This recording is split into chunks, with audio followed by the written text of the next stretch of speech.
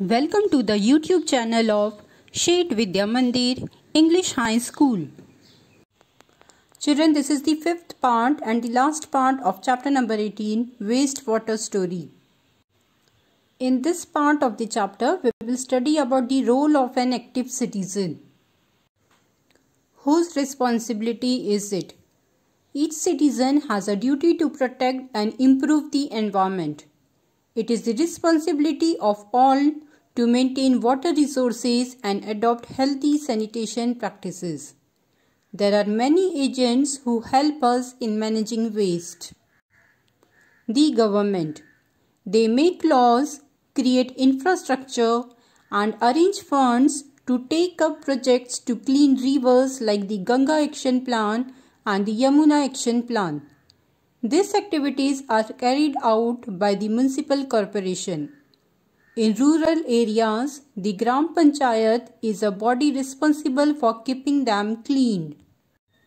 Rule of community Community bodies like the Resident Welfare Association must cooperate with the municipality for keeping their area clean.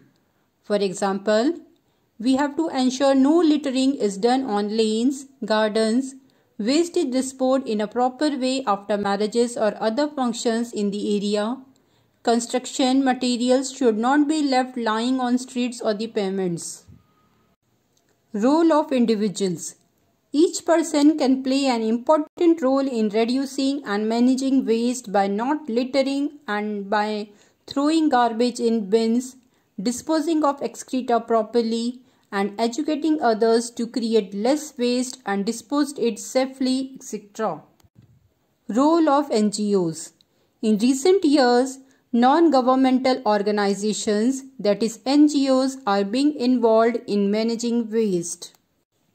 Eco clubs Eco clubs are being set up in schools to inculcate the idea of responsibility towards environment. Remember, we all can be the agents of change.